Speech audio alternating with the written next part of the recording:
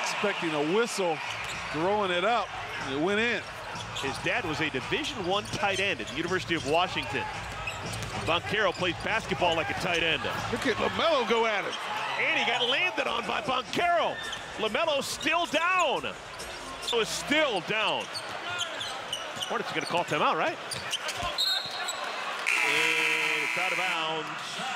Last touch by Terry. And LaMelo is being looked at.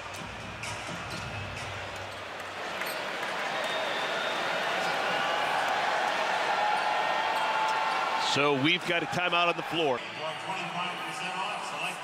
You see when he came down, the right leg came down kind of awkward. Watch his right leg when he comes down. Uh, you can see his mouth. He was saying something even before he got landed on by Banchero. And that is the last thing you want to see tonight.